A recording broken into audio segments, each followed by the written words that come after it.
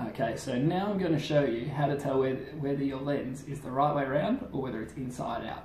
And the trick is you need to look right at the very, very edge of the lens here. And you'll see this lens is really nice and cup shaped like this. This is the right way around. Now, if you think it's the wrong way around, I'm going to show you the easy way to get it the other way. So you just want to press it down like that. And then the easiest way to move the lenses around is to actually pinch them. They're really strong if you pinch them, um, so you don't have to worry about wrecking them. Now, this is the inside out way, and this is where it gets tricky because can you see the very, very edge of the lens there? It's, it looks like it has a slightly bluer tint, and it also looks like it curves the other way, so it looks like it curves that way, but it's really subtle to see.